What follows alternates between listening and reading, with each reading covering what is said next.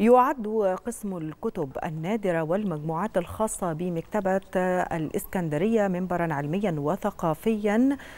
الأمر الذي ينظر وجوده في كل أنحاء العالم. يضم القسم 61 مجموعة خاصة بها أكثر من 160 ألف كتاب فضلا عن 65 ألف عدد من دوريات مختلفة و4100 خريطة بعدة لغات.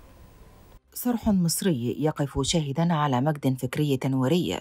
ضاربا في عمق التاريخ وبناء تعرض في الأزمنة السحيقة للتدمير حتى أعيد بناؤه في عام 2002 إنه مكتبة الإسكندرية العريقة والتي تضم بين جنباتها جواهر الكتب وأمهاتها ووثائق شديدة الأهمية لا سيما في قسم الكتب النادرة والمجموعات الخاصة. ويضم القسم مجموعة من الكتب النادرة والمخطوطات وأوائل المطبوعات.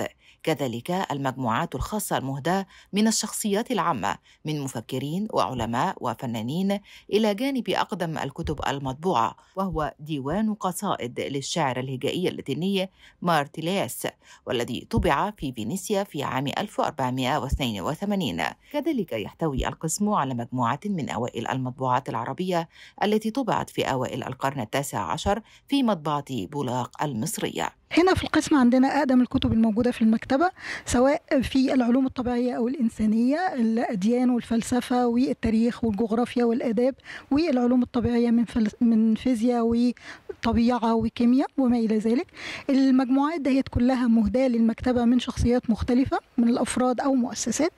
لما تكون المجموعة عددها كبير وأهم حاجة لما يكون الشخصية المهدية نفسها من الأعلام والمشاهير بنديها اسم مجموعة خاصة وبنحتفظ بيها على بعضها في مكان واحد هنا في القسم وبتبقى الشخصيات دهيت ليها أهمية في المجتمع بإسهاماتها سواء في العلم أو الأدب أو الفنون. كما يضم قسم الكتب النادرة والمخطوطات 61 مجموعة خاصة بها أكثر من 160 ألف كتاب و65 ألف عدد من دوريات مختلفة و4 ألاف ومئة خريطة. ذلك بعدة لغات وهذه المجموعات بعضها يخص شخصيات عامة مثل الرئيس الراحل أنور السادات وسلطان عمان قابوس بن سعيد والدكتور أحمد زويل والأديب العالمي نجيب محفوظ والبعض الآخر أهدي للمكتبة من مؤسسات وهيئات مختلفة. جيت النهاردة المكتبة جزء الكتب النادرة وفي موجود هنا الدكتور أحمد زويل ونجيب محفوظ. في كتب جميلة ونستفاد منها كلنا. يعني أي حد بنصح الطلبة أي حد يدخل هنا هيستفيد أكيد من الدكتور أحمد زويل والأستاذ نجيب محفوظ. ويعني أي حد بيدخل لازم يستفيد من هنا.